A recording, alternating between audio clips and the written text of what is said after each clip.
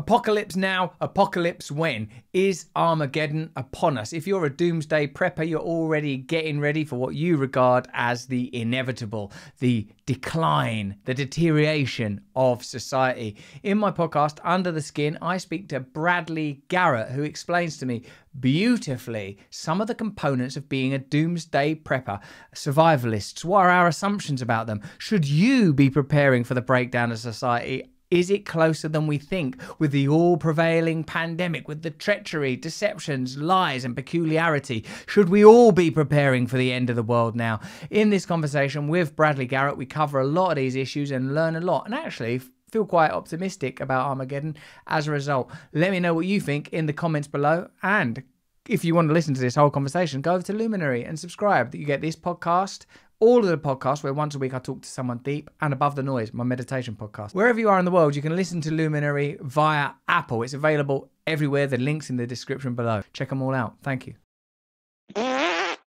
And the other thing that sort of struck me is when you said about like, you know, about reality, that sometimes when I was younger and I would think about violence, that somehow like a violent confrontation strips away all of the various edifices that we voluntarily or otherwise live behind.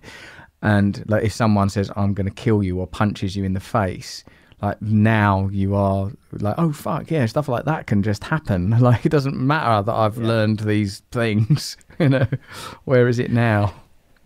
Yeah you're exactly right. And and the the doomsday preppers or survivalists that i've been spending years living with have you know they they explained to me that in some sense they were looking forward to a disaster because it ruptures the illusion um, the bunker, you know, whether you think about that as a physical space or a kind of metaphor, um, is is a, is a space for recreation. It's a space of rebirth, essentially, right? I mean, if you if you don't emerge from the bunker, it's a tomb. Uh, so, so the so the bunker um, uh, is a space of rebirth, but it's also a space of control.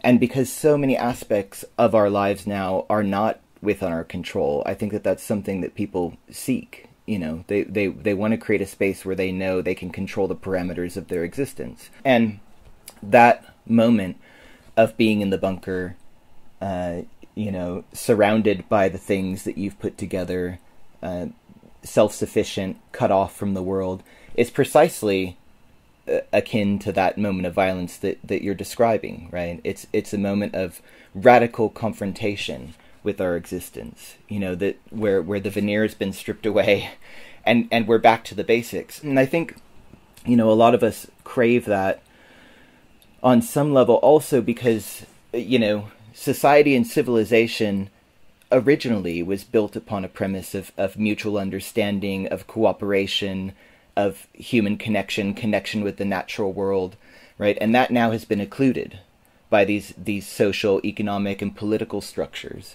that um, are are fundamentally unsatisfying on some level. And so, what many of the preppers told me was that the disaster is a moment for rebirth, for recreation, for reconnection. Um, and so, I mean, strangely, there is an anxiety there underlying things, but there's also a hopefulness that when the disaster comes, it's it's a moment for us to confront ourselves and potentially to rebuild the world and this is a perfect moment to be talking to you because you know we're in that moment now. I mean, we we have an opportunity to reshape things after going through a global disaster that's killed what almost four million people now. Um, we have a moment to uh, build a different kind of world. Whether we're going to rise up to that challenge, I, you know, I, am not sure. Um, it's certainly a time of, of change, and that's exactly what these preppers had been telling me uh, long before the pandemic had hit. Cool. A few things there, Bradley. One, like the cave, the bunker. You know, I think of Christ. You know, and like yeah. the moment in the cave. That's so cool. That like that's a moment before rebirth. And I also think of the Kali energy in Hinduism, like the, the destroyer, that things have to be destroyed that we may be reborn. reborn. And of course, most myths have that idea. In, in agriculture itself requires a kind of death and burial for new crops to grow and stuff. Um, mate, this idea is are survivalists a homogenous sort of group, or is there a lot of variety? Because when you just said that thing about the four million death, my assumption this is my assumption about survivalists, and obviously I don't know anything like as much as you do. I only know what I've seen on documentaries and stuff.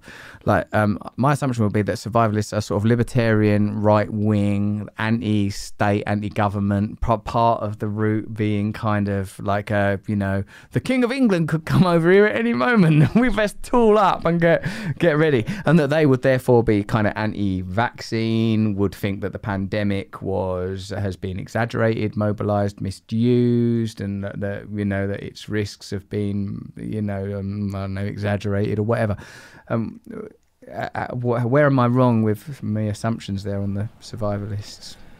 Well, so there's a few things. Um, one is you're not wrong. There, those people do exist, um, and there's not.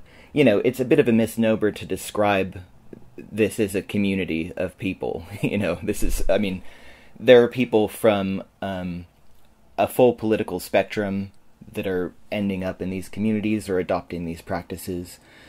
Uh, there's some great research uh, that came out of Queens College. Anna Maria Bounds worked with uh, inner city preppers in New York City, many of whom are black, and who said, you know, we grew up in essentially a constant state of emergency. Um, dealing with crisis on a daily basis, and so they're they're prepping so that they don't have to go through something like that again.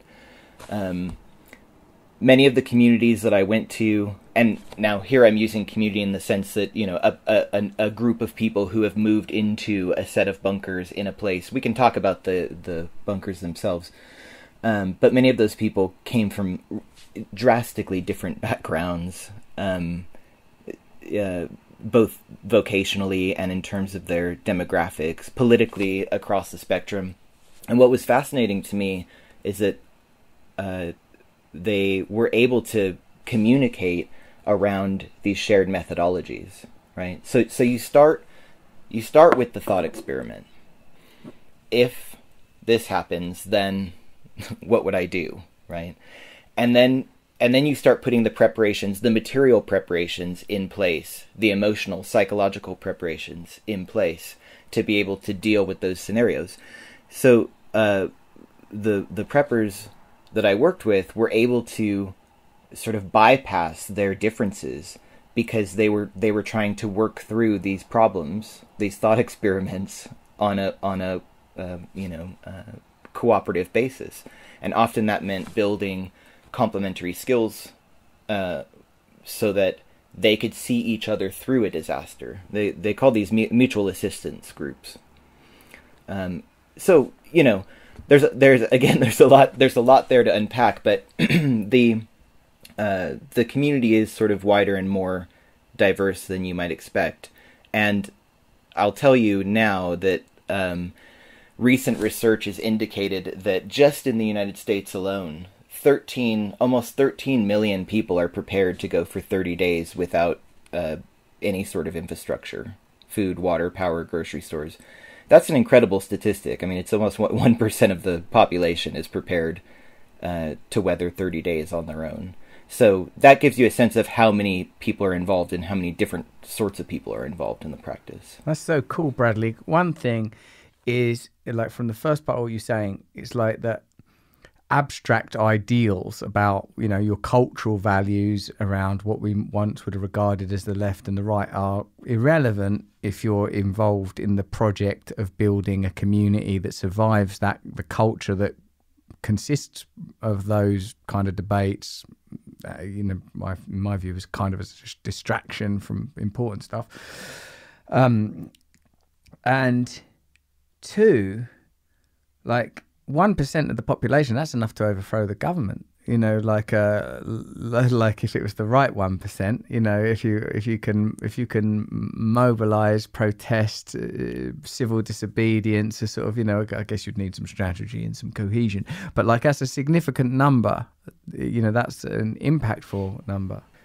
Maybe we should be looking at the apocalypse optimistically. Apocalypse optim. No, I can't do a neologism made out of those two words. The point of it is this that maybe we should be preparing for a better society. Maybe civilization needs to change. Hit me with your comments below. Subscribe to my channel. If you want to learn more about meditation, go over to Awakening and sign up for that. If you want to see me do my live Shakespeare show, there's a streamed show in a couple of days. There's a link in the description below to that too. And if you want to come see me live, you can get tickets to that below as well. Sign up to my mailing list. I'll tell you about all of this stuff and we can stay completely connected. For the rest of this podcast, go over to Luminary. You can get it on Apple. Link, link, link, description, description, description. Subscribe.